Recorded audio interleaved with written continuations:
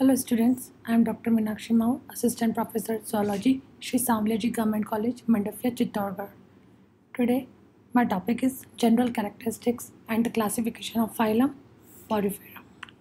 What are porifers? They are pore-bearing first multicellular animals. animals. Their pores are also known as ostia. Actually, they have a spongy appearance and are therefore called sponges. They are attached to this substratum and they do not move. Now we will see general characteristics of phylum Porifera. They belongs to Animalia kingdom. They may be aquatic but they are mostly marine and very few are terrestrial. They may be solitary or colonial. They have a cellular grade of body that is grade of organization. Their shape is variable, mostly they are cylindrical. They may be asymmetrical or radially symmetrical. They are diploblastic animal.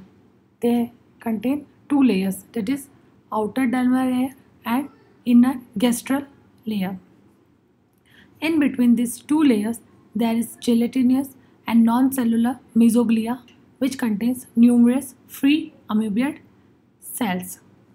They do not have coelom. They are acoelomate but they have spongocele. The surface of the body has a numerous perforation which are called ostia.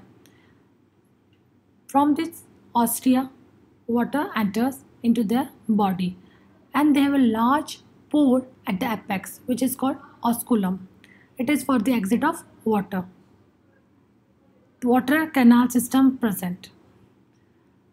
They have either calcareous spicules or siliceous spicules or spongin fibers.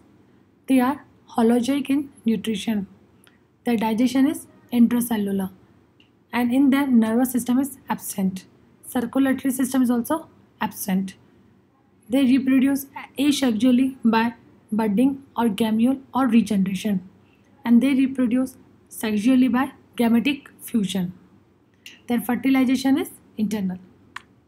Now we will see classification of porifera. They have three classes Calcarea, Hexactinellida and Demospongia. First we will see Calcarea. Calcarea is also known as Calcispongiae. They are exclusively marine. They may be solitary or colonial in nature. They have a calcareous spicules which are composed of calcium carbonate. They are radially symmetrical. Their shape is cylindrical. And examples of Calcarea classes Sycon, Leucosolenia. Now we will see class 2 Hexactinellida. It is also known as Hyalospongiae. They are exclusively marine. They may be solid, they, they are solitary in nature. They have a six rayed siliceous spicules. They are radially symmetrical. Their shape is cylindrical. Examples are Euplectella and Hyalonema. Now class 3 Demospongia.